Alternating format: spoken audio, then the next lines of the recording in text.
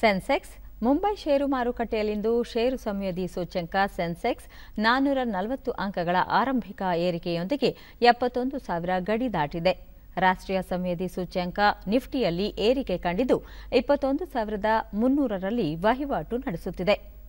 Dollar ಎದುರು ರೂಪಾಯಿ ಮೌಲ್ಯ ಬಲವರ್ಧನೆಯೊಂದಿಗೆ ಎಂಬತ್ಮೂರು ರೂಪಾಯಿ ಮೂವತ್ತು ಪೈಸೆಯಲ್ಲಿದೆ.